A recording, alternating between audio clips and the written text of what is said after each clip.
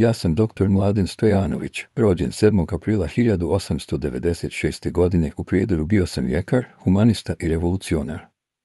Zbog moje humanosti ljudi su me poštovali. U sukobu sa četnicima kod Lipovca teško sam ranjen u glavu. Oporavljao sam se u selu Jošavka kod Čelinca gdje su me ubili četnici 2. aprila 1942. godine.